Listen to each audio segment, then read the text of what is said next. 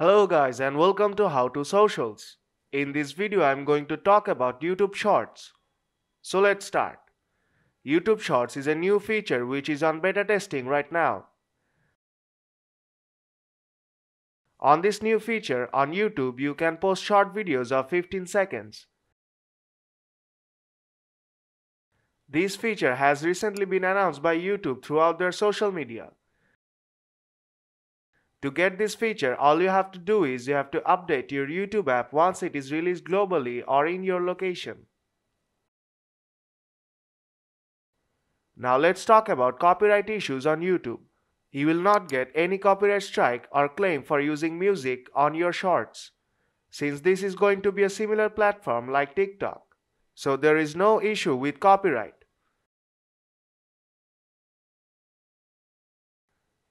YouTube might also introduce monetization on shorts, but it is not announced yet and we have to wait for that.